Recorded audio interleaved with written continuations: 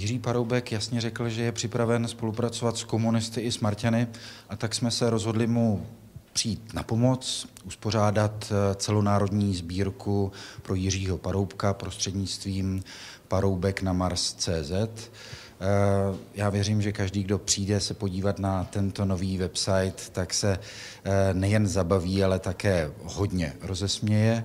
A doufám, že také každého pobavíme, když přijde do kina a podívá se na ten úžasný klip, který natočil Filip Renč. Zvolili jsme zase takovou humornou nadsázkovou filmovou formu těch eh, audiovizuálních spotů, eh, z čehož jeden půjde v kinech, ten se jmenuje Hvězdář, a ten, co půjde v kinech, samozřejmě doufám, že i na internetu, tak bude vlastně pozvánka pro další sérii tří spotů, které budou v průběhu předvolební kampaně vlastně na internetu běžet. Týden co týden bude nový, nový spot. Je to braný s humorem a s nadsázkou. Doufám, že to tak všichni pochopí a že se i pobaví.